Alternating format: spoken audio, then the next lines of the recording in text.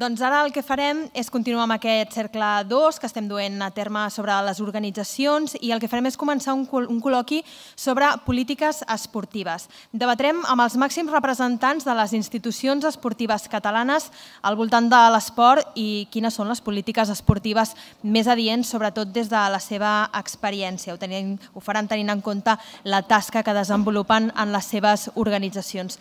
De seguida els tindrem aquí, de moment us vaig avançant els seus noms, són el Gerard Figueres, el secretari general de l'Esport de la Generalitat de Catalunya, la Maite Fandos, diputada d'Esports de la Diputació de Barcelona, Gerard Esteve, president de la Unió de Federacions Esportives de Catalunya, la UFEC, i en Josep Monràs, vicepresident de la USEC, la Unió de Consells Esportius de Catalunya, i alcalde de Mollet del Vallès, que de seguida pujaran aquí a l'escenari. Molt bé, doncs ja tenim aquí els nostres convidats. Com dèiem, és un col·loqui sobre polítiques esportives perquè aquests representants de les màximes institucions esportives catalanes doncs, puguin debatre al voltant de l'esport i les polítiques esportives més adients sempre des de la seva experiència i el, el, en, en el càrrec que fan a les seves institucions. Volia que ens expliquéssiu mm, un per un, sota la vostra experiència, quines són les característiques de les institucions que representeu i quina és la, la missió que tenen. Començo jo? Bueno, primer de tot, molt bona tarda a tots i a totes. Jo sóc Gerard Esteve, que sóc el president de la Unió de Federacions Esportives de, de Catalunya. Haig de dir que des d'aquí aquesta sala fa molt de goig, tant la part de dalt com la part de baix i que és per nosaltres un honor poder estar aquí i compartir aquesta taula doncs, amb les autoritats que ens acompanyen i, i amb les reflexions que generen. No? Nosaltres sempre creiem que qualsevol espai de reflexió, qualsevol espai d'idees, qualsevol espai que aporti altres vies i altres visions és positiu en qualsevol dels casos i, per tant, felicitar la Diputació doncs, per aquesta iniciativa. Nosaltres, com a Unió de Federacions, representem les 69 federacions esportives de Catalunya, és a dir, de tots els esports, futbol, bàsquet, béisbol, vela, etc etc. totes aquelles que estan reconegudes per la Generalitat de Catalunya, que a la vegada diguem-ne tenen federats 12.500 clubs a tot el territori i que a la vegada sumen aquestes 700.000 persones que tenen llicències federatives i que formen part de, de les diferents federacions. No? Nosaltres som una entitat 100% eh, privada, que estem creada per decret, la pròpia llei de l'esport en la seva part final, el decret doncs, eh, constitueix la Unió de Federacions. Som un òrgan col·laborador de l'administració de la Generalitat, però també de les diferents administracions eh, locals, i eh, actuem en, en molts casos doncs, com a defensores del sector no governamental sense ànim de lucre. Nosaltres el que no tenim són eh, diguem el, el, el segment professional, el, el segment més d'ànim de lucre, sinó representem totes aquelles entitats sense ànim de lucre que estan sota el paraigües de les diferents eh, federacions. Això és el que és la Unió de Federacions. A títol històric, doncs el nostre primer president fou en Pompeu Fabra, l'any 1933, i eh, des de llavors doncs, hem tingut un reguitzell de, de, de situacions, doncs hem passat per la dictadura, després per recobrir una vegada més doncs, la democràcia i ara veurem què és el que ens espera. Eh? Gerard, des de la Secretaria General de l'Esport. Bé, molt bona tarda també i agrair la, la invitació per part de la Diputació a compartir aquesta taula i felicitar per l'encert doncs, d'organitzar aquest congrés en un moment tan particular eh, del país en el que puguem reflexionar no, sobre el paper del món local en l'esport del nostre país. Agafant una mica la línia d'aquesta primera pregunta i enllaçant també amb el que explicava en Gerard doncs, de la Unió de Federacions, nosaltres, com bé sabeu, som el govern. I, per tant, dintre del govern de la Generalitat, ja en l'any 80-81, quan hi va haver tots els traspassos, en aquest cas, doncs, eh, per part del govern de l'Estat cap, en aquest cas el govern de la Generalitat, recentment recuperada, doncs el que hi va haver va ser una transferència de la competència, en aquest cas de la competència en matèria d'esports com a competència exclusiva, i va ser primer la Direcció General de l'Esport, que després va evolucionar cap a la Secretaria General de l'Esport, aquí eh, se li ocupa diguem, l'acció política del govern en matèria esportiva. La Secretaria, per tant, s'ocupa eh, de col·laborar diguem, amb el conjunt d'entitats que, conformeu, que conformen l'ecosistema esportiu del país, tant públiques, per tant administració local, diputació, administració de l'Estat, com privades, com pot representar en aquest cas la Unió de Federacions, eh, els clubs, etc. i a través d'elles, o diria conjuntament amb elles, perquè aquest ha sigut una mica el tarannà d'aquestes eh, 3-4 dècades diguem d'autogovern, doncs eh, s'intenta impulsar la pràctica de l'activitat esportiva, en aquest cas sumant què? Doncs sumant primer prioritats i després sumant recursos del sector privat i del sector públic. Principalment, eh, quina és la tasca que durant aquestes quatre dècades d'autogovern doncs, ha fet la Secretaria General de l'Esport? Doncs, D'una banda, el foment diguem, de la pràctica esportiva en totes les edats i en totes les fórmules, tant esport diguem, eh, salut i esport per a la ciutadania com l'esport eh, competició. Al costat del foment de la, pràctica, de la pràctica, tot el que és la formació, i aquí coneixeu bé, jo diria, el que és la formació més de tècnics, que impulsem a través de l'Escola Catalana en conjunt amb les federacions, i també, en aquest cas, l'Institut Nacional d'Educació Física de Catalunya, amb el, la seva Lleida i la seva Barcelona. Una tercera pota que és la promoció, en aquest cas, d'equipaments esportius, eh, que principalment, diguem, governeu i són propietat, en aquest cas, del món eh, municipal i una quarta pota que és tota la qüestió de eh, l'esport d'elit i en aquest cas doncs, treballant molt al costat de, eh, de les eh, federacions doncs, a través d'organismes com els centres de tecnificació que hi han escampats pel territori o el centre d'alt rendiment de Sant Cugat del Vallès. Com sabeu, en aquests moments estem diguem, ubicats en el Departament de la Presidència, precisament amb una voluntat de donar la màxima transversalitat, en aquest cas, en el rol de l'esport, i doncs, eh, també com m'ho apuntava tant la presentadora com en Gerard, doncs avui estem en un dia, un punt singular, perquè l'actualitat va canviant cada minut i per tant eh, el que hem explicat és tal com estan les coses. Veurem com evoluciona tot plegat. Maite Fandos, recent aterrada com a diputada d'Esports. Molt bé, moltes gràcies. Eh, jo abans que res, evidentment, agraïu-vos als tres doncs, avui estar aquí. És evident que és un moment difícil, i en tot cas doncs, agraïu-vos doncs, que tot i així puguem estar aquí perquè creiem que era important mantenir el Congrés i que seguíssim parlant. Jo vull aprofitar també, si em permeteu, per excusar-me que jo no he pogut estar avui a la inauguració, tot i que és la meva responsabilitat aquest congrés, però just l'actualitat ha fet que ens convoquessin d'urgència un ple a l'Ajuntament de Barcelona coincidint amb, coincidint doncs, amb la inauguració d'aquest congrés. Per tant, no us he pogut donar la benvinguda i, en tot cas, ho, si em permeteu, què és això? És el micro, no que deixis. Eh, ho faig ara i, per tant, agraïus a tots i a totes doncs, eh, el fet doncs, d'avui doncs, estar aquí, ja que per nosaltres, per la Diputació, doncs, era molt important poder continuar fent aquest congrés, en el qual també vull aprofitar, si em permeteu, agrair al Jordi Cabero, al Dani Laga i a tots els equips doncs, l'esforç doncs, que heu fet per poder fer doncs, aquest congrés. És evident que jo crec que de les institucions que estem aquí, sobretot les públiques, eh, en aquest cas, i, i aquí també t'afegeixo tu com a alcalde, Segurament la Diputació és la més desconeguda, sobretot pels que són barcelonins, això també us ho he de dir, perquè jo quan als meus amics els dic que sóc diputada d'Esports o abans de Benestar Social em diuen, però ja, ja què fas? Llavors, clar, la, sobretot per la gent que potser no és al territori, la Diputació és molt desconeguda i no se sap ben bé quin és el nostre paper. Però, en canvi, jo crec que la, la gent que sou de fora de Barcelona ciutat ho coneixeu i, per tant, jo seré breu en aquesta línia, però jo crec que sí que és important dir que la Diputació som aquell organisme eh, supramunicipal que estem donant suport tècnic, econòmic, logístic doncs, als 311 municipis de la demarcació de, de Barcelona. I això jo crec que és molt important, no? perquè eh, hi ha municipis de tota mena, des d'evidentment Barcelona ciutat, fins al municipi doncs, més petit de la demarcació. I això vol dir doncs, que hi ha municipis que segurament es necessiten més i municipis que menys, però en tot cas estem ajudant a tots els municipis. Dius que, evidentment, eh, la demarcació de Barcelona és una demarcació importantíssima, on hi ha 9.000 instal·lacions esportives, entre altres 5.800 entitats, 5.800 entitats esportives, etc. I, per tant, el nostre paper doncs, és aquest que us deia, sobretot. Suport econòmic, sí, però sobretot també aquest suport més tècnic, logístic, que moltes vegades se'ns demana des dels, des dels ajuntaments.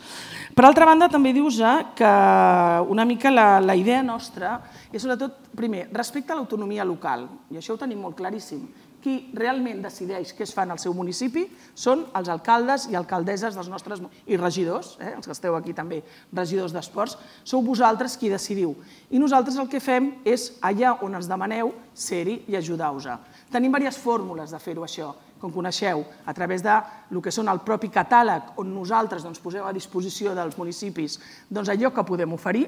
I aquí us he de dir una cosa, de les 10, eh, dels, dels 10 productes que més es demanen del catàleg que ofereix la Diputació, dins d'aquests 10, 4 són d'esports.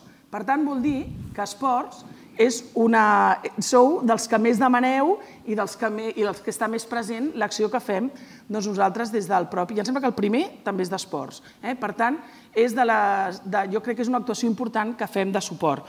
Per altra banda, evidentment, també fem altres coses, que després en tot cas explicarem més, però en tot cas aquesta és la, la nostra primera missió. Donar suport als ajuntaments és el primer. Però també és cert que també estem donant suport, tot i que no sigui la, la principal acció, també a entitats del sector que també venen doncs, a que la, propi, la Diputació, i això moltes vegades ho fem d'acord amb el propi govern, doncs puguem col·laborar o després ho veurem doncs, amb les dues pròpies federacions que aquí ens acompanyen. Molt breument seria això i després ja explicaríem si sembla més coses. Senyor Montràs, des de l'AUSEC, des dels Consells Esportius. Sí, els Consells Esportius eh, sabeu que són les organitzacions territorials que estan repartides arreu de Catalunya i que en formen part eh, ajuntaments, entitats esportives, clubs, federacions i molts altres estaments que es dediquen a la pràctica esportiva fonamentalment, que no exclusivament de, de base. Per tant, tenen una, una forta arrel, diguem, territorial i a la vegada una forta complicitat amb el sector de l'administració pública, en aquest cas més proper al ciutadà, com són el conjunt d'ajuntaments eh, de tota Catalunya i especialment a la província de Barcelona movem a l'entorn d'uns 250.000 nens i nenes amb aquell compromís que tenim, compromís, contracte, conveni amb la Secretaria General de l'Esport per desenvolupar els Jocs Esportius Escolars de Catalunya, però la voluntat ha estat clara i més en els últims anys d'obrir la nostra institució a altres tipologies, organitzacions esportives d'esport per tothom, d'esport de lleure, d'esport inclusiu, d'esport i salut. I per tant estem ja iniciant aquesta fase que un dels elements de molta centralitat segurament en els Jocs Populars que celebrem el 2019 eh, a Tortosa acompanyats de la Secretaria General de l'Esport i de la Diputació eh, de Barcelona com un element de punt d'inflexió amb aquest recorregut que volem fer en aquest esport que deia abans inclusiu, de salut i de, i de valors sobretot, perquè també hem buscat fórmules que eh, poguessin, a través de la norma de l'activitat, poguessin facilitar la pròpia activitat esportiva, fonamentalment, torno a insistir, amb els, amb els més menuts, a l'esport de base. Eh, val a dir, i és bo també dir-ho obertament, perquè molts de vosaltres que em coneixeu sabeu que també públicament quan haig de criticar, critico, i quan haig de dir que les coses fan bé, ho haig de dir-ho també, per tant, eh, les notícies bones o els comentaris, reflexions positives també s'han de dir, que en aquests últims anys la veritat és que hem tingut un, un fantàstic suport de la Diputació de Barcelona, no solament en temes d'assessoraments i també en temes econòmics, que ens han permès tirar endavant projectes molt interessants que teníem en el nostre full de ruta i també, inexcusablement, per obligació, però també per voluntat, que és el que vull dir davant de tota aquesta sala, del secretari general de l'Esport, a on t'ha entès que volíem iniciar aquest camí i a on ens ha ofert tota la seva col·laboració. Per tant, també és bo dir-ho avui aquí en conjunt del món esportiu, en aquest cas no solament de la província de Barcelona, perquè sé que hi ha molta gent que ha vingut de, de més enllà. Per tant, aquesta és la nostra organització, aquesta és el nostre full de ruta i segurament per ençà-nos hi ha altres preguntes que sortiran per part de la moderadora i jo crec que uns punts d'aquells que hauríem de començar a reflexionar de cara al futur és enfortir la col·laboració entre el conjunt de les institucions que treballen en el món de l'esport. Tant, la Unió de Federacions, la Unió de Consells, lògicament tutelats per la Secretaria General de l'Esport, que és el que té la màxima responsabilitat en el govern del nostre país i per descomptat amb la col·laboració de totes les diputacions perquè col·laborin amb aquest esport, torno a repetir, insistir, més inclusiu, esport de base i esport de valors. Ara parlarem d'aquestes relacions que deia el, el Josep Montrase, però primer, un cop heu desgranat una mica la filosofia de les vostres institucions, volíem saber una mica quines polítiques o mesures esportives en concret són les que esteu aplicant des de les vostres organitzacions. Comencem pel secretari ara.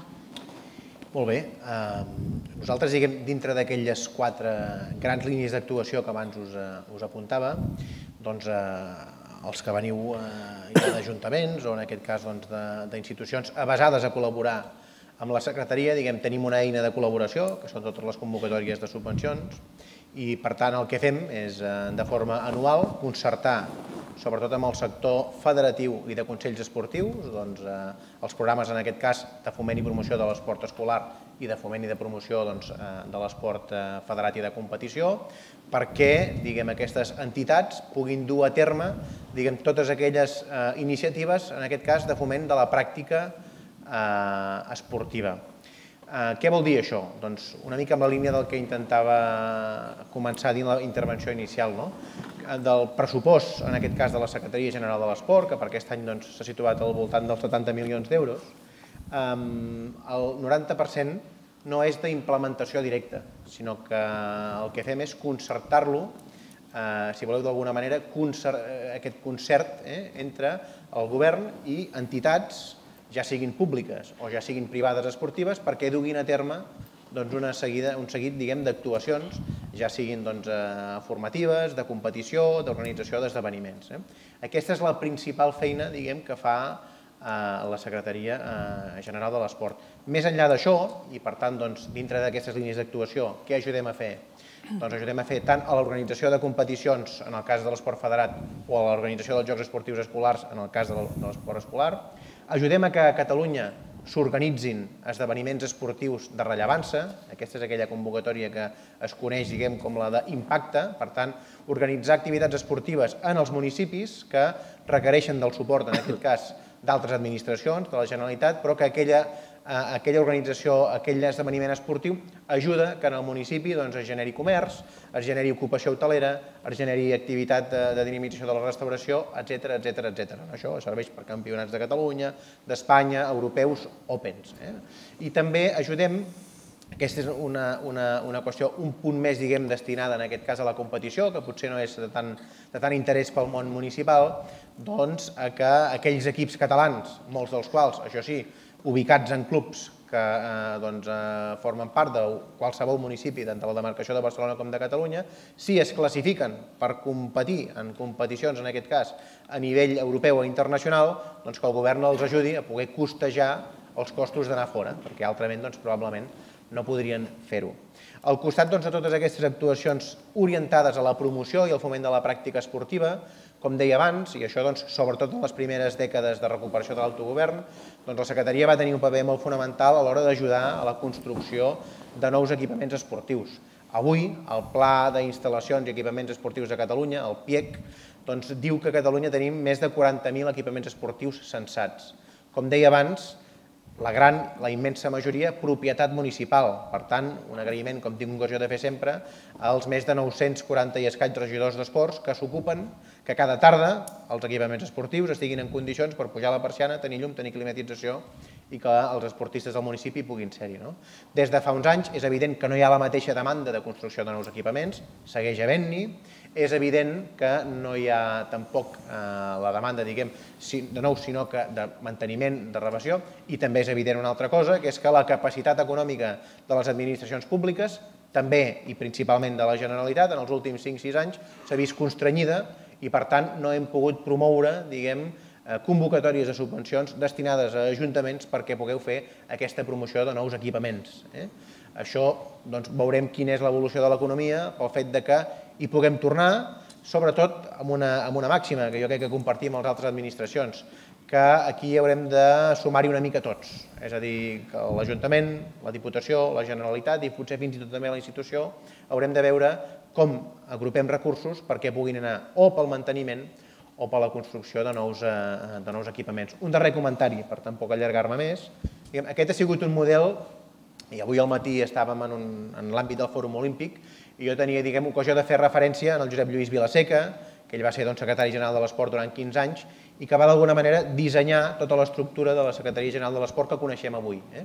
Per tant, és un model que neix fa gairebé 4 dècades, que ha anat evolucionant i que a partir d'ara, i suposo que també tindrem ocasió de parlar-ne, també amb les reflexions que hem pogut fer en el si del Congrés de l'Esport Català, en el si ara del, del Pacte Nacional per l'Activitat Física i l'Esport, que plantejarà continuar amb tota aquesta estratègia, jo diria, de seguir ajudant diguem, a la promoció esportiva, tant d'aquest esport per tothom com de l'esport de competició, però que al mateix temps també intentarà que arribem diguem, al 90% de la ciutadania, és a dir, que des de la institució pública, al costat d'ajudar a clubs, a federacions, a consells esportius, també siguem capaços de cooperar amb els ajuntaments directament a l'hora de fomentar que la major part de ciutadans, sense la necessitat de que hagin de plantejar-se diguem, ser campions olímpics, puguin d'alguna manera agafar hàbits de vida saludables a través de la pràctica de l'esport i de l'activitat física per poder doncs, tenir també uns majors estàndards, en aquest cas, doncs, de salut i de qualitat de vida.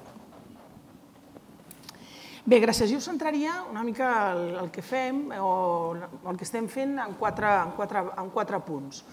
Una primera part que seria més tot allò que fem per millorar ajudar els ajuntaments a millorar la qualitat de, del servei que es dona no?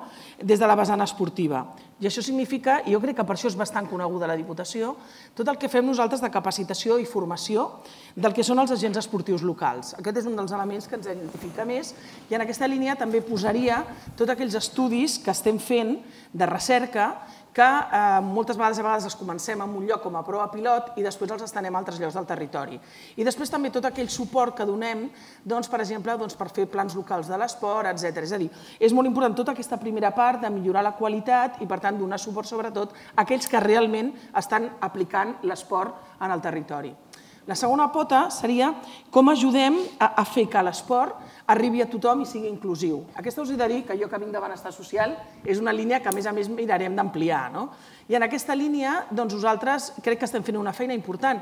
Però que moltes vegades la gent no sap que la Diputació està al darrere d'això perquè lògicament qui acaba donant la beca esportiva són els ajuntaments, no la Diputació. Però clar, una part important que fem nosaltres és donar suport i donar diners, en aquest cas, perquè es puguin donar doncs, beques esportives, perquè entenem que el que és important, sobretot, és que els nens o nenes no deixin de practicar l'esport. I en aquesta línia, evidentment, tenim tota una sèrie de productes i d'activitats encaminades al que és la inserció social i, sobretot, doncs, a l'esport per tothom. Una tercera pota seria eh, que el Gerard ho apuntava com a futur. Nosaltres, he de dir que avui hem aprovat una cosa que crec que us ho han explicat al matí el vicepresident, eh, que és el suport en, en, el, en el que són els equipaments locals. No? Una de les problemàtiques més importants és el manteniment dels equipaments, de lo que són els equipaments esportius.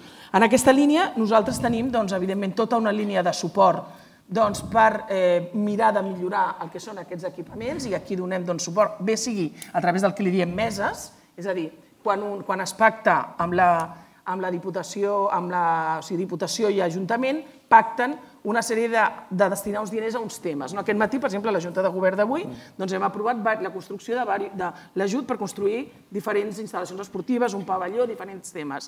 Però, a més a més, eh, hem aprovat aquest matí per primera vegada, que no existia, un pla complementari per millora, que això no és construcció nova, sinó per millor, la millora de diferents tipus d'equipaments, eh? culturals, també marcats, etc. però també un d'aquests equipaments són esportius. Per tant, per primera vegada tindrem una convocatòria en aquest sentit, doncs, per també fer aquesta millora de cara a equipaments esportius. I després, evidentment, també tenim doncs, aquells ajuts que hem anat donant puntuals, més perquè seria materials pels propis equipaments, no? des de doncs, cadires o coses que adaptades, etc. doncs, que cadires de piscina, eh? vull dir, per baixar a la piscina, etc.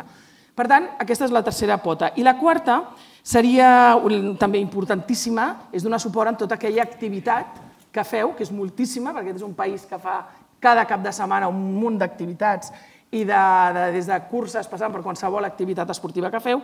I nosaltres aquí el que fem, per una banda, evidentment, donar suports tècnics i materials, crec que els arcs de la Diputació és un element visible a tot el territori, però no només això, trofeus, etc. tot això crec que és una de les parts més importants que també donem nosaltres. I després també en aquesta línia eh, mirem d'ajudar, bé ser via, via petició dels ajuntaments o de la pròpia secretaria o de les entitats i federacions o els consells, doncs ajudar també en aquells esdeveniments que van a vegades més enllà del propi municipi. És a dir, sigui un mundial, sigui un europeu, sigui tota una sèrie d'activitats. Aquesta no és la part principal que fem, però també hi col·laborem, perquè creiem que és molt important pel nostre territori la generació de riquesa que significa doncs, l'organització doncs, d'aquests esdeveniments esportius. Breument seria això. Hi ha un aspecte que deia la diputada que no és que el ratifiqui, sinó que me'l crec fermament i crec que tota la sala el compartirà. Eh? L'activitat número 1, amb diferència, que tenen tots els municipis de Catalunya és l'esport. Això és indiscutible. Això ningú ho pot discutir. Perquè no solament faig referència a les grans activitats que es poden veure a la premsa, sinó que estic referint-me a aquella activitat que des de les 5 de la tarda, quarts de 5 de la tarda, s'està generant a tots els nostres patis, pavellons o instal·lacions esportives molt variades. Però més enllà d'això, tota l'altra activitat que abans de les 5 de la tarda s'està produint la nostra gent gran i molts altres col·lectius. Per tant, claríssimament, és la primera activitat social que tenim als nostres pobles i viles. Per tant, és ratificar aquesta dada que em sembla molt important perquè quan es fagin les conclusions del propi Congrés cal alçar la veu des del món de l'esport a altres administracions que no pas aquestes que ens acompanyen aquí per dir que si incidim en aquesta activitat estem incidint a una part molt important de tota la població de Catalunya. Dit això, el meu barret d'alcalde a vegades em fa despistar-me cap a altres llocs, eh? disculpeu-me. Torno a anar als Consells Esportius. Eh, a la pregunta, què, què, què feu per tal d'adaptar-vos al, al full de ruta aquells que abans explicava? Si jo abans explicava que volem un esport inclusiu, està clar que moltes vegades les normes, diguem, normals d'activitat no permeten eh, ser més inclusiu. I per tant el que fem des de les nostres activitats, hi ha un comitè tècnic que ho elabora eh, de manera temporal, és anar adaptant normativa de competició per tal de fer-la més, mm, diguem, més permeable perquè hi hagi molts col·lectius que puguin eh, participar-hi. Però com que també em parlava del tema de valors, eh, estem a punt de signar eh, un acord amb eh, la Universitat Autònoma de Barcelona per tal de que, eh, a través del Departament de Psicologia de la pròpia universitat, del Jaume Cruz, que és la persona que va participar en aquesta campanya de Compte fins a 3, si recordeu, fa uns anys, eh, elaborar un decàleg, diguem, de normes, de valors, per tal de transmetre no solament en els propis monitors i entitats esportives, sinó també en el conjunt de les persones que tenen relació amb l'activitat que desenvolupem. I també dir-vos que si parlàvem de valors i de normes de competició, un dels altres elements que hem impulsat en aquests darrers eh, dos tres anys és que a les nostres competicions, de manera obligada, amb fórmules diferenciades, això sí, perquè cada territori té la seva pròpia dinàmica i la seva pròpia singularitat, no compta solament el propi resultat, el que fa més cistelles, el que fa més gols, sinó compten moltes altres coses. Compten l'esportivitat en el camp, compta la salutació contrària, etc etc. I això forma part d'un conjunt de punts entre una cosa i l'altra per tal de donar valor a aquests altres conceptes que a vegades amb els altres tipus d'esports no s'acaben tenint eh, tot el compte. També, lògicament, a nivell d'assessorament, que explicava abans el secretari i la diputada, eh, eh, estem obrint una, una via de donar assessorament a aquells consells que són molt més menuts en el territori que n'hi ha i que a vegades es troben orfes d'alguns temes de tramitació administrativa i de més i que això a vegades els encalla molt amb el que té que ser el seu principal objectiu, que és la pròpia activitat. I, per tant, des de la Unió de Consells intentarem obrir aquesta, aquest camí per donar-los aquest recolzament. I després, eh, hi ha moltes més coses, però tampoc per allargar-me molts cops eh, ens acostumem massa a mirar el malic. Molts cops eh, sembla com si fem un mecanisme de defensa, eh, diguem, de no poder explicar allò que som, i jo crec que hem d'aixecar el cap ben alt i dir en el nostre cas, parlo de Catalunya i parlo de de Consells, eh, d'explicar aquest projecte arreu, d'explicar aquest projecte a Europa i d'explicar aquest projecte a moltes altres eh, institucions i països. I val a dir que ho hem començat a fer, i val a dir que la resposta que hem tingut realment ha sigut molt positiva perquè queden, si em permeteu l'expressió, absolutament eh, sorpresos de no solament la capacitat d'entesa que tenim amb l'administració de la Generalitat de Catalunya, sinó a més la capacitat d'arrelament en el propi territori. Per tant, aquests són alguns elements que fan, de la pregunta que formulaves, eh, de què fem per arribar a aquests objectius que abans explicava a l'inici de la primera pregunta. I des de l'UFEC, quines són les mesures en concret que dueu a terme? Ràpidament, nosaltres tenim dos nivells, diguem-ne, en quant a mesures de, de polítiques esportives, que és la, la pregunta. No? La primera és, com que som un òrgan col·laborador de l'administració, eh, en general, i per definició i per decret, doncs eh, fem, hi hagin o no hi hagin diners, amb les administracions, doncs, convenis de col·laboració en el que fixem, de fet, fixen objectius, perquè la política és qui ha de marcar el, el, diguem els objectius Eh, d'aquesta... Quan dic la política em refereixo a les administracions, de, que són el, els representants del, del poble, són qui marquen aquestes polítiques, tant a nivell d'ajuntaments, com a nivell de diputació, com a nivell de Generalitat, i nosaltres, com a òrgans col·laboradors, doncs, ajudem a desenvolupar-ho, insisteixo, ja sigui a través de convenis amb dotació econòmica o sense, però que la voluntat és dir, escolta'm, ells marquen les línies i nosaltres ajudem, som un òrgan executor d'aquestes polítiques. Això és el, el, la primera diguem-ne fase en quant a polítiques esportives.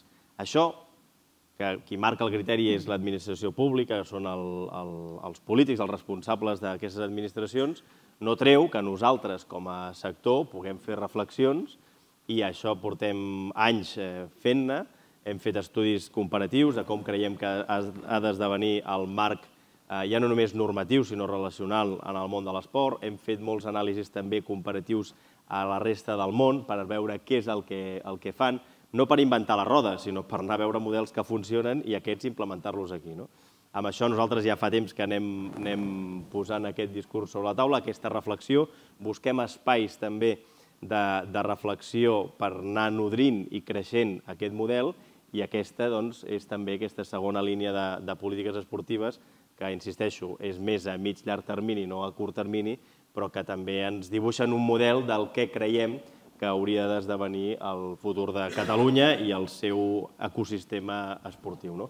Posant l'èmfasi i posant eh, l'accent en aquest univers esportius, en el que per nosaltres és la cèl·lula fonamental del desenvolupament del món de l'esport, que no deixen de ser els clubs. No? Eh, tots els municipis tenen clubs, totes les federacions tenen clubs, totes les administracions acaben tinguent clubs en l'entorn i, per tant, crec que és aquesta cèl·lula que hem de, que hem de cuidar i que hem de, de col·laborar. No? Parlava abans el Josep, demanava que parléssim de les relacions que s'estableixen entre els diferents agents, que poden ser les entitats locals, governamentals, els mateixos clubs, federacions, fins i tot empreses. Expliqueu-nos com, des de cada estament que dirigiu vosaltres, com dueu a terme aquestes relacions. Comencem per la Maite? Hem de portar-les bé, entrada, de relacions. Bueno, jo crec que que el primer que hem de tenir clar tots, jo crec, és el fet doncs, que és important que sumem entre tots i totes, perquè la veritat és que moltes vegades els recursos són els que són i, per tant, sobretot el que cal és sumar. Jo crec, francament, que en aquest moment estem sumant, eh? i us ho dic eh, de veritat, almenys per la part nostra, eh, jo crec que estem sumant. Per tant, com ho intentem fer? Eh, començo per la secretaria general. Bé, nosaltres creiem que, a part que tenim un conveni de col·laboració, però jo crec que s'està intentant fer una cosa que és important, és que cada cop que hi ha una necessitat, doncs evidentment ens mirem de posar d'acord i mirar què és el que ha de fer cadascú. No parlo a vegades només en temes econòmics, que també, eh? sinó també amb com, quin és el paper que ha de fer cadascú, perquè també cadascú tenim les competències que tenim, que no són les mateixes. I per tant, en aquest sentit, doncs jo crec que a nivell d'administracions, igual que les col·laboracions amb els ajuntaments, aquí no estàs com a alcalde, però és veritat que ho ets i, per tant, ja ho he explicat abans. En quant al que, amb el que és la, la Unió de Consells, ho ha explicat ell mateix, tenim un conveni, estem ajudant, estem col·laborant, jo crec que estem fent una, una part molt important en aquest sentit doncs, de col·laborar doncs, amb tot el que s'està fent amb ells, amb activitats esportives, formatives, sensibilització, etc amb els consells, Eh, i, per altra, I amb l'UFEC eh, nosaltres hem començat una línia de col·laboració més eh, amb, i que continuarem amb la línia més d'esport de, inclusiu, no? que potser ho explicarà més el Gerard, però de. Un, tenim un conveni doncs, en aquesta línia doncs, amb un projecte que a mi almenys m'entusiasma i que crec que està funcionant bé perquè és molt pioner, d'utilitzar l'esport com a element d'inserció laboral. Després jo crec que potser ho explicaràs tu i per tant que no cal que l'expliqui jo. Però jo crec que ho intentem, entre tots, mirar de col·laborar dins de cadascú les seves competències, que això també crec... Això també ho vull destacar, perquè de vegades, i aprofito per dir-ho, a vegades et venen a veure, l'altre dia doncs, em venia a veure, no diré qui, no? un, un alcalde en un club, i clar, és que la competició, el primer nivell, és que això no és competència nostra, és que a més a més, no només és que no ens ho deixen, a més a més, perquè la competició és competència de la Generalitat. Jo, quan us he parlat, en cap moment us he parlat de competició, perquè no és competència de la Diputació. Nosaltres estem per donar suport sobre tots els ajuntaments. Per tant, crec que sí que hem de distingir quin paper té cadascú i dins de cada, dins de cada competència que té cadascú, mirar de coordinar-nos el millor que puguem. I sense trepitjar-vos, oi? Sí. sí, és que es va tornar a caure. sense trepitjar el cable, també em deia. A eh, eh, la Unió de Consells, eh, bàsicament, el, el gran acord, diguem-ho així, de col·laboració el té amb la Secretaria General de l'Esport, eh? perquè, en definitiva, a data d'avui és la que té la competència, eh, diguem, fonamentalment amb el que significa els Jocs Esportius Escolars de Catalunya. Clarament també, i contundentment per voluntat del secretari general, té delegada, diguem absolutament, aquesta competència amb la Unió de Consells Esportius i, per tant, som nosaltres el braç executor eh, d'aquest programa, sempre de la mà, sempre de la mà, i, per tant, eh, acordem les coses que hem de tirar endavant amb la Secretaria General de l'Esport. Però després n'hi ha una altra que per nosaltres és molt, molt, molt important. Lògicament, com us deia abans, a nivell de tot el territori de Catalunya, de manera molt diferent. Però l'altra base importantíssima és els acords que tenim amb els ajuntaments. I per tant nosaltres acabem sent els consells esportius, no solament la Unió de Consells, elements, eh, eines de, de treball i d'actuació en el territori de molts ajuntaments que no disposen de l'estructura tècnica necessària per poder desenvolupar les seves polítiques esportives. I per tant, com nosaltres els hi podem oferir aquest servei, és un servei que cada cop està creixent més i que per tant nosaltres estem disposats a jugar aquest paper. Aquestes serien les dues, diguem, més importants. No treuen que n'hi pugui haver moltes altres, evidentment, eh? però jo crec que aquestes són la base de la nostra, diguem, de la nostra pròpia activitat que portem a terme, com deia abans, arreu de, de Catalunya. Ara, eh, tornarà a reflectir allò de que diu el propi Congrés, on estem i cap on anem. No? Torno a reiterar una vegada més que jo crec que de la mà de la Secretaria General de l'Esport i del seu secretari al capdavant eh, seria bo enfortir, col·laborar, buscar majors complicitats encara amb tots els ens i institucions esportives per tal de que cada un assumeixi lògicament la seva responsabilitat, però crec que sumar sinergies sempre és important justament per no buscar protagonismes mal entesos d'institucions i aquells responsables de les institucions, sinó perquè el protagonisme l'acabin tenint els ciutadans amb els quals actuem i per tant que aquests, si se'ls pot donar més oportunitats de desenvolupar la seva activitat física, benvingut sigui. I acabo eh, per on també la diputada explicada. Jo crec que és un encert que la Diputació hagi obert aquesta línia de col·laboració amb els ajuntaments, que no ens enganyem, la línia de col·laboració amb ajuntaments acaba sent una línia de col·laboració amb les entitats esportives que utilitzen les instal·lacions esportives, que seran els usuaris en definitiva, que és de la millora i l'acondicionament, perquè molts pobles i ciutats sabeu vosaltres perfectament que estem arrossegant eh, instal·lacions de fa molt de temps i per tant instal·lacions que és inexcusable que tenen que tenir una adaptació no solament normatiu, no solament normatiu, sinó a vegades de nivells de seguretat o d'accessibilitat. Per tant, que obrin aquesta línia i que els ajuntaments puguem adherir-nos en aquesta línia, de ben segur que serà molt ben rebut. Bueno, com a Unió de Federacions, eh, una mica en la línia del que s'ha parlat, doncs amb totes les administracions hi tenim aquesta relació, insisteixo, perquè per la nostra definició doncs, tenim el, encomanat a la, ser un òrgan col·laborador, principalment amb la Secretaria General de l'Esport, en el que tradicionalment hem tingut doncs, eh, un conveni més ampli en el que fem moltes polítiques al, al 50%, eh? per tant, 50% de recursos de l'administració, 50% de recursos propis de la pròpia Unió de Federacions, amb la Diputació, doncs, sobretot en la vessant més social i aquests programes que, que mm, explicava la Maite, en el que a través de l'esport els formem durant 6-7 mesos, els donem un primer títol federatiu homologat i els donem una primera mm, oportunitat de treball a persones que ens, ens fan arribar als diferents serveis socials dels diferents ajuntaments i de les entitats del tercer sector que ens envien aquestes persones doncs, amb dificultats econòmiques, familiars, d'estudis, etc etc. I a través d'aquí doncs, els hi donem aquesta oportunitat. L'any passat, que ja vam començar a ser el primer programa potent, vam tenir més de 200 nanos amb exclusió social treballant amb, aquesta, amb aquest projecte pilot i ha sigut realment molt excel·lent. No? I després amb la resta de l'ecosistema, doncs, evidentment, no? eh, tant amb la Unió de Consells com amb els diferents ens i clubs i federacions que per la seva dinàmica i pel seu funcionament doncs hi tenim una relació fluida i, i oberta sempre, no? amb aquesta mentalitat de, de col·laborar i de buscar sinergies, perquè avui en dia sí que és cert que eh, és molt millor poder col·laborar i no quedar-te tot el pastís, però fer aquest win-win amb altres actors que no voler ser un únic protagonista i quedar-te sol. Per part de la secretaria, mm, diguem, eh, reblar una mica la, la, la normal i positiva relació que hi ha entre administracions i entre administracions, i en aquest cas les dues principals entitats privades de l'esport del país i que avui a més a més esteu aquí no? compartint taula eh, una relació normal, perquè no és nova, sinó que ve primer marcada per llei, i segon, doncs, perquè fa que diguem, sumem voluntats amb quin objectiu? En el que hi hagi més ciutadans que practiquin eh, esport en el nostre país. Per tant, tenim un sistema de relació amb l'UFEC i amb l'UCEC que diguem, consisteix en un programa d'actuacions anuals en els que ells presenten uns, unes propostes de treball i davant d'aquestes propostes la secretaria doncs, disposa un pressupost per tirar-les endavant, que vindria a ser una mica el mateix que succeeix amb les federacions i amb els consells esportius.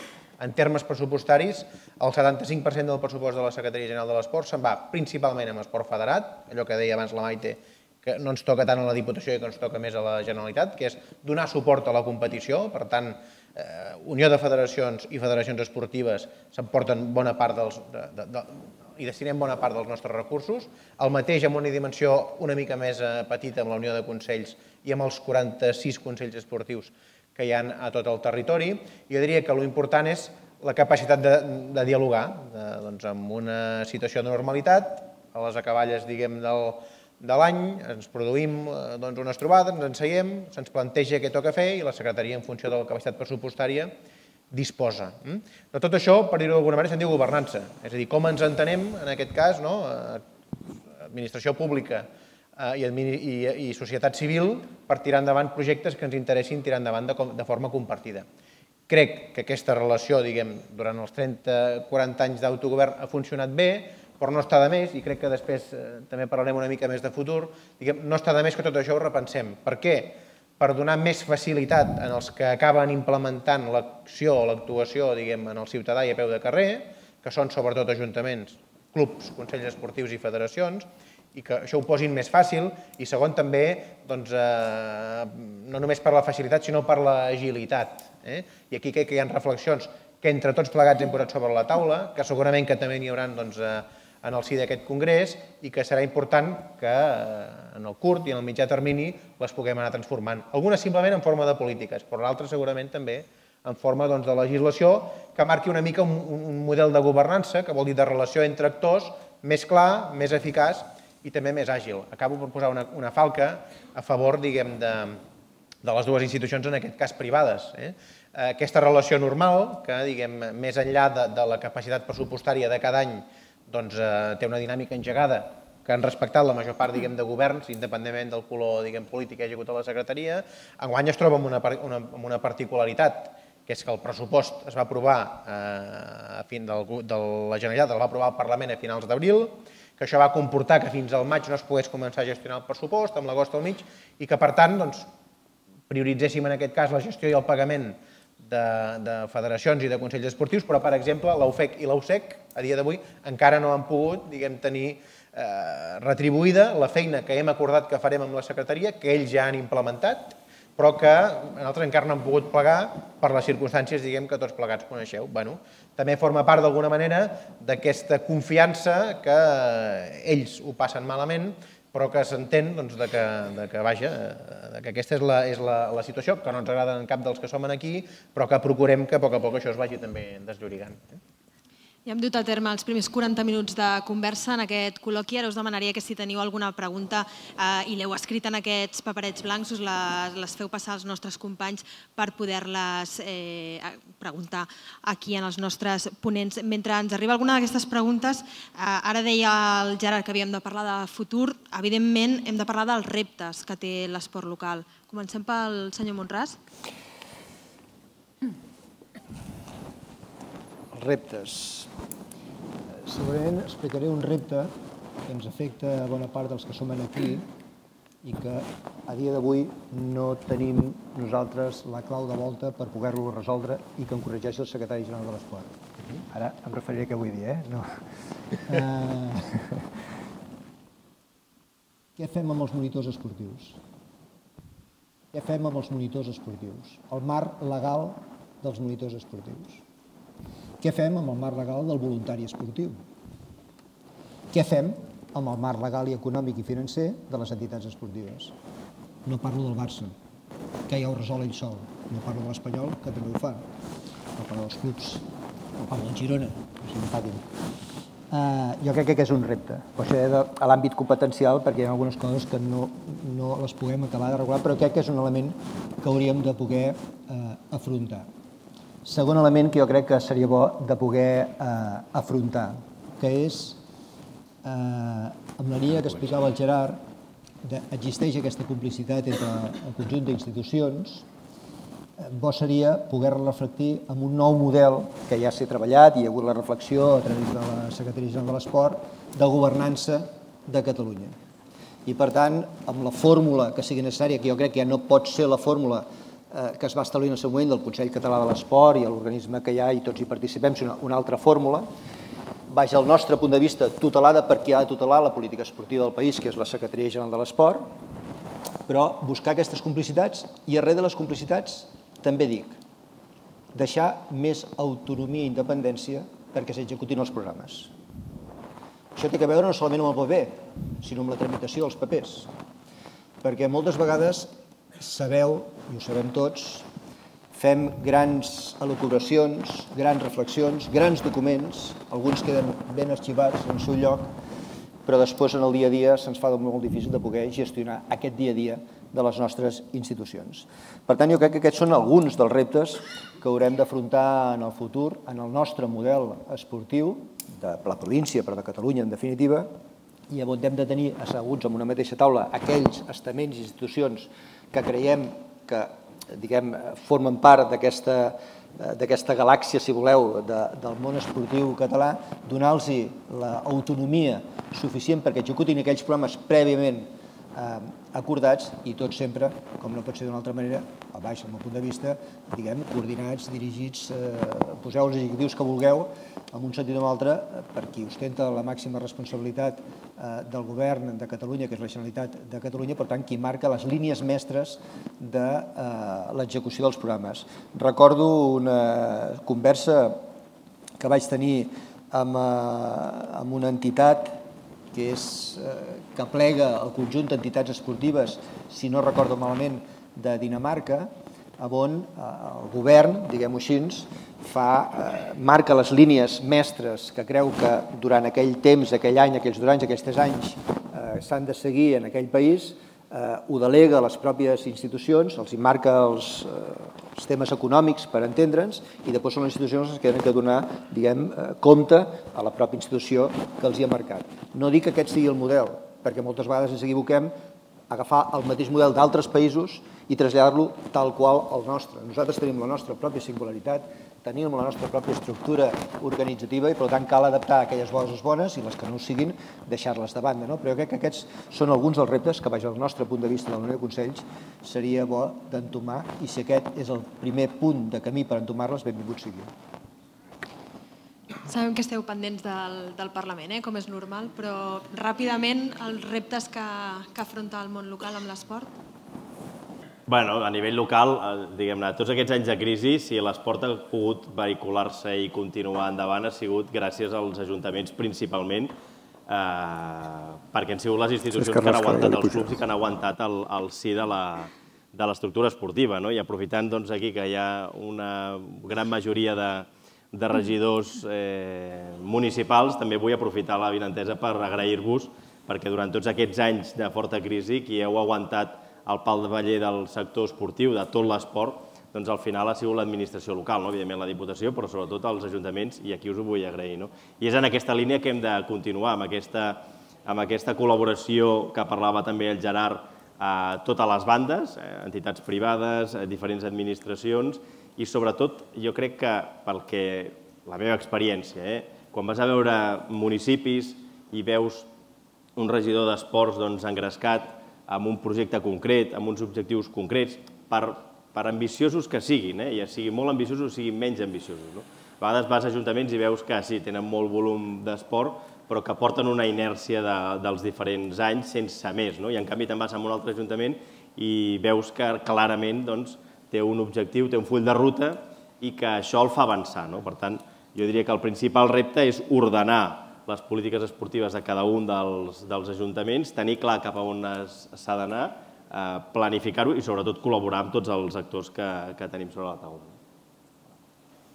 Agafant una mica el guant tant d'en Josep com d'en Gerard, eh, crec que el nostre és un país que es caracteritza no pas per quedar-se diguem, en, un, en un punt i no avançar, sinó que en tots els àmbits, el cultural, el de l'ensenyament, el de la salut, també el de l'esport, sempre procurem diguem, anar doncs, progressant. No? És en aquest sentit que jo crec que portem eh, gairebé quatre dècades d'autogovern, d'un sistema esportiu que gairebé del no-re doncs, ha construït un model i un ecosistema diguem, de l'esport català que avui és reconegut en el conjunt de l'Estat, que és reconegut també en el conjunt doncs, eh, de la Unió Europea, com un sistema que s'ha pogut combinar bé diguem, tota la suma tant d'actors eh, món municipal, món eh, de la Generalitat, tant públics com institucionals, i tenim un sistema doncs, que permet tant tenir bons esportistes que ens aconsegueixin medalles o diguem, eh, títols internacionals, però també que tinguem doncs, un dels nivells de participació, de pràctica esportiva de la ciutadania, que Catalunya està doncs, situat en els 3 milions de practicants habituals, doncs, que estan a la banda alta, diguem, en aquest cas, de la, dels països diguem, més desenvolupats de la Unió Europea.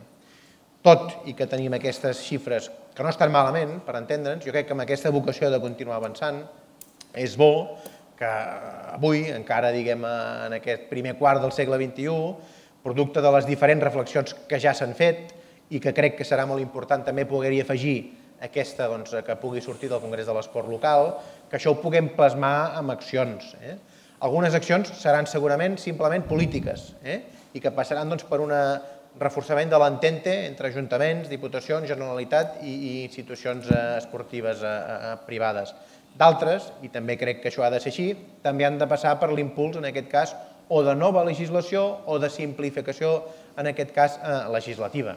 I crec, i això eh, doncs hem tingut ocasió de parlar-ho amb, amb els actors que tenim aquí a la taula, amb la línia del que deia el Josep, del que hem parlat amb la Màquia, també del que ara deia el Gerard, que si els canvis legislatius que hi han d'haver, en forma de noves lleis, en forma de noves actuacions polítiques, no són estrictament governamentals, sinó que venen de baix a dalt, per entendre'ns, no? partint de les reflexions que s'han fet en el Congrés, en el Pacte Nacional, ara en el Congrés de l'Esport eh, local, eh, el que heu explicat públicament, tant l'UFEC com l'USEC, com el col·legi, com els gestors esportius, com des de les entitats municipalistes.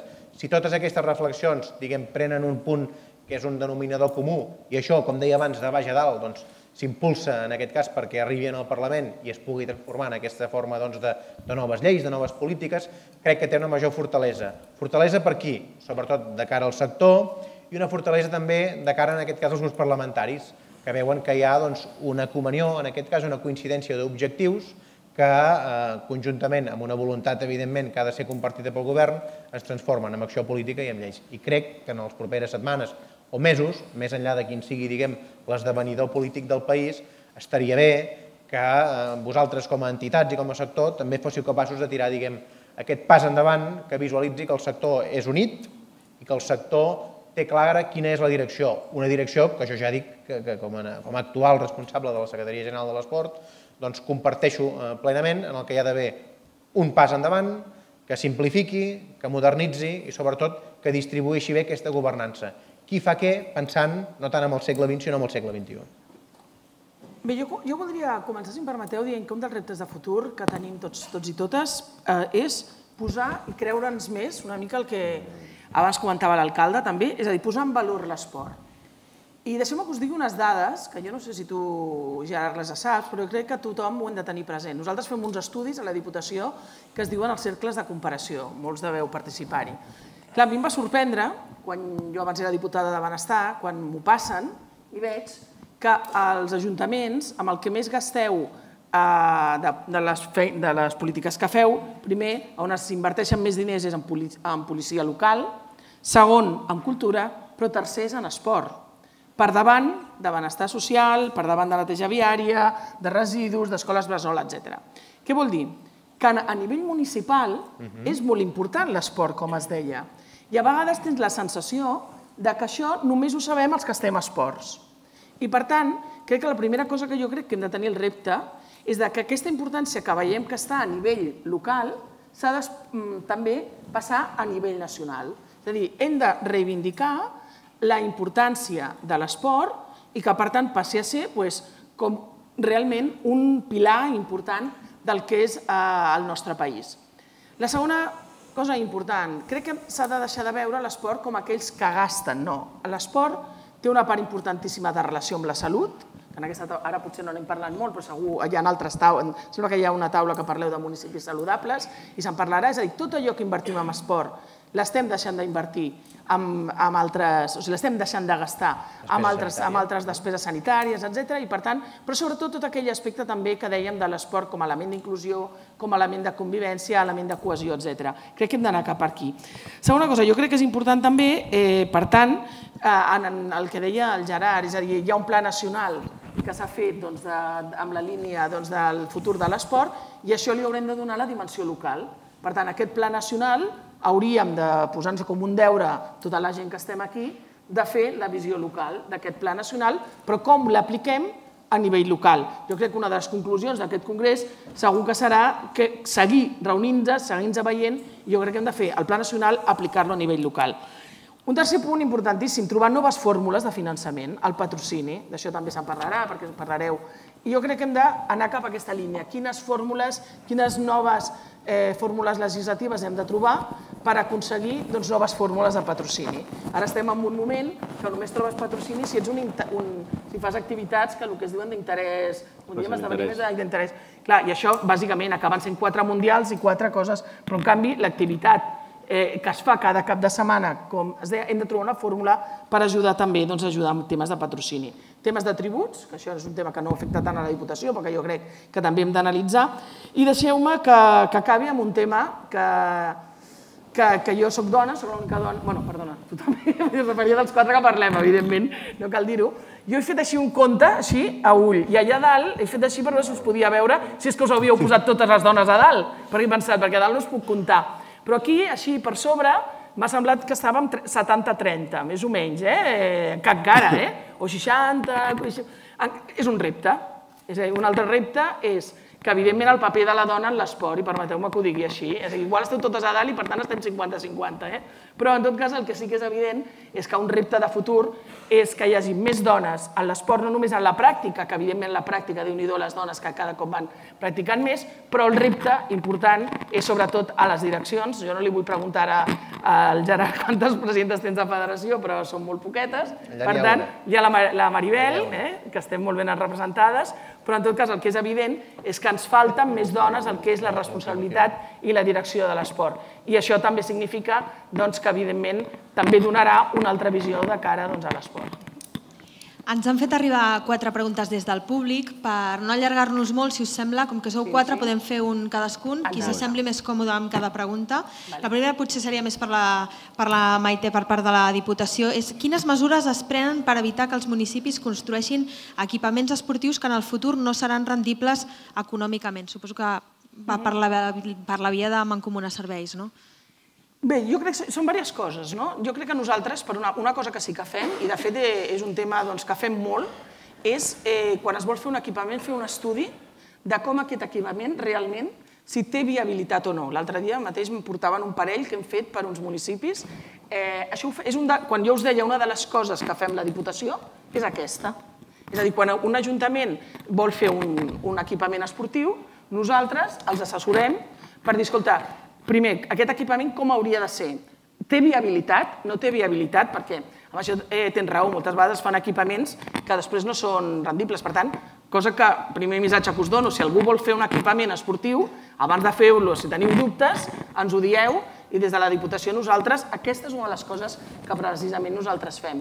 I després permeten que afegeixi, que no és ben bé això, però crec que una de les coses que nosaltres hem de trobar també és la manera i això permeteu, que és potser molt barceloní, no sé si us passa a tots, però a Barcelona passa molt, és que de vegades et ve gent i et diu, escolta, és que hem de fer un pavelló i al costat hi ha una escola que té un pavelló que no s'utilitza els caps de setmana. I per tant, la primera cosa que hem de fer és un estudi de si els equipaments, en aquest cas educatius, que a vegades tenen eh, eh, privats o públics, eh, perquè moltes vegades són privats també, tenen equipaments esportius, si els estem o no utilitzant abans d'anar a fer un nou... Això és una batalla que portem molts anys, potser a nivell territorial ho teniu més resolt, però concretament a Barcelona ciutat tenim encara molt camí per fer i per tant jo crec que val, abans de fer un nou equipament s'han d'analitzar tots aquests temes. Però en tot cas aquest és un dels programes molt concrets que, estem, que treballem i és dels temes que fem més, precisament.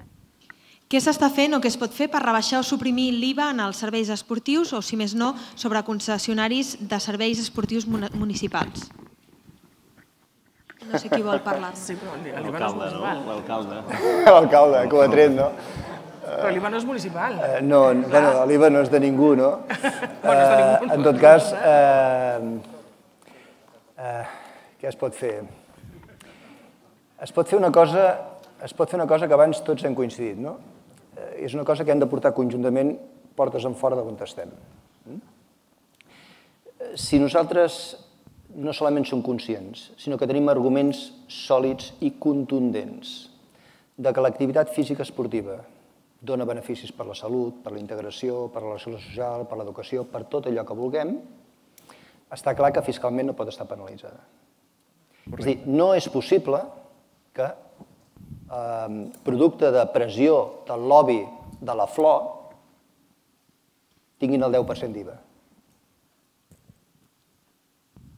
Segur que tots ho sabíeu. I, en canvi, la pràctica esportiva, el 21, d'equipaments esportius. No és possible. Almenys jo ho crec i ho dic públicament així. Té que ser el 4? No ho sé, però no pot ser el 21. Perquè si també hi ha estudis que demostren que un euro invertit, i dic invertit, no gastat, en activitat física esportiva pot significar 50 euros de recepta de medicament, què fem, gastar o estalviar? Si volem estalviar, apliquem-ho. Soc conscient, per la conversa que fa uns mesos vaig tenir amb el secretari d'Estat, de que el secretari d'Estat ha començat a moure aquesta peça tant amb el Ministeri eh, d'Hisenda. Li serà força complicat, perquè a vegades tenim una visió de curt termini i solament veiem la recaptació de demà i no veiem la recaptació de futur que podem tenir estalviant despeses en un altre lloc com pugui ser amb la recepta diguem, de farmàcia que eh, es fa des dels CAPs i des dels propis hospitals. Eh, per tant, segurament des de les administracions que som aquí mm, tenim poc marge de maniobra, però en canvi sí que podem ser capaços de conjuntament explicar-los a aquells que sí tenen que prendre la decisió que estan invertint, que estan invertint, que no gastant, i que al llarg del temps segurament tindran més recaptació. Aquesta és la meva opinió del tema impositiu. Em deixes afegir un tema? Eh, evidentment, subscric tot el que has dit. Jo mm, crec que hi ha un tema, eh, tu has parlat del sector de la flor, però jo crec que també hem de tenir present una cosa que ha passat, que el sector cultural també tenia el 21 i per la pressió del sector, perquè és veritat que eh, els actors tenen molt més la facilitat de tenir sempre el micro, perquè és molt més fàcil, els hi han baixat. I per tant, jo crec, si us sembla i si esteu d'acord, que una de les conclusions que hauríem de fer del Congrés és precisament això que dius tu, és a dir, que hauríem de fer una pressió, que això ho heu treballat des de la UFEC, per demanar que rebaixi l'IVA esportiu, perquè a mi em consta que molts dels ajuntaments ho heu estat demanant, i si no ho haurien de demanar. Penseu que el sector cultural, per la pressió del sector, igual que com tu deies, el sector de la flor, els hi han rebaixat. El que és absurd és que nosaltres, perquè potser de vegades el sector esportiu no es queixa tant i de vegades doncs, està més eh, doncs per altres temes que del dia a dia que ens preocupa, no hem fet prou pressió i no s'ha baixat l'IVA esportiu. I jo crec que això hauríem de, de mirar de fer-ho, crec jo. Eh?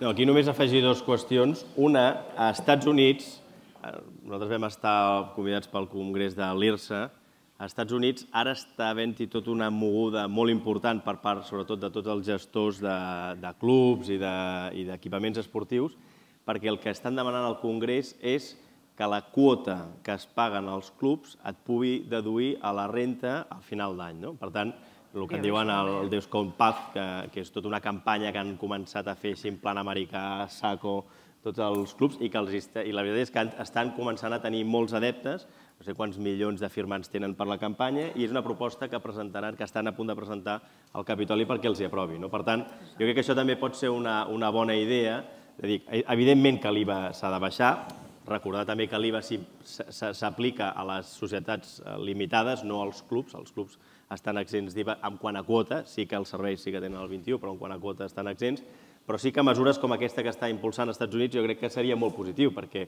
aniria també en la línia de, un, ajudar a que sigués més econòmic a poder afiliar-se a un club. Quan dic un club, els Estats Units demanen també per un gimnàs privat, encara que sigui una societat limitada, els és igual, eh, qualsevol, i això també permetria i promocionaria que hi hagués més gent que s'hi pogués afiliar o almenys baixar el cost de la pràctica esportiva. No? Ho dic com a idea, eh? ho llenço com a idea del que fan als Estats Units i del que podríem fer també aquí. Jo diria, perdó, per, per acabar de reblar diguem, en aquesta línia, moltes vegades, quan els ajuntaments han impulsat una campanya d'aprovar mocions en massa doncs, d'un determinat tema, crec que s'han aconseguit coses. Per tant, amb, amb, el, amb aquest horitzó que, deia la, que dibuixava la Maite, igual es podria trobar d'aquí doncs, una moció que primer s'aproveix en els ajuntaments i que després passés diguem, a nivell de grup parlamentaris aquí i a Madrid per diguem, poder situar, en aquest cas, allà on hi ha la decisió, que és en el Congrés dels Diputats, i intentar que, que siguin allà. Potser si les coses canvien, en funció del que... No, no acabem de seguir les coses, eh? Eh, potser ja serà, diguem, aquí on es podrà decidir, però en tot cas que sí que crec que és una, una reivindicació absolutament eh, lògica i que el sector és molt més potent del que a vegades ens creiem. Fa falta que ens ho creiem precisament i que siguem capaços d'activar les tecles necessàries per aconseguir efectes que altres molt més petits aconsegueixen. Fem una última pregunta. Ens pregunten sobre les mesures d'actuació que es duen a terme per la inclusió de la discapacitat intel·lectual. Més o menys ja ho heu apuntat i qualsevol de vosaltres en pot parlar perquè se'n fan moltes d'actuacions a casa nostra, tant amb la Federació de Paralítics Cerebrals, avui sentíem el vicepresident de l'UFEC, que és el president d'aquesta federació, també amb Special Olympics. Des del món federatiu, més tenim dos específiques, que és Paralítics Cerebrals, i després tenim Specials Olympics, que és ACELL, que és l'Associació Catalana d'activitats de lleure, no? i que aquests fan una feina extraordinària i, a més a més, molt lligada, i vosaltres que veniu del món dels ajuntaments segurament eh, hi heu treballat, molt lligada amb el món local i amb les entitats que no són esportives, però que sí són de, de, de, de funcionament ordinària amb persones amb discapacitat intel·lectual per desenvolupar aquesta activitat. I gràcies també a aquest, a aquest tipus de federacions molt específiques i molt inclusives, doncs, eh, els hi donem qualitat de vida també a un col·lectiu que, si no, doncs, anys enrere, quan no hi havia aquestes entitats, doncs, estaven absolutament abandonats. No? Doncs gràcies per ser aquí un cop més, especialment en el dia que ens trobem avui. Gràcies per no haver declinat la invitació. Us demano un aplaudiment pels quatre.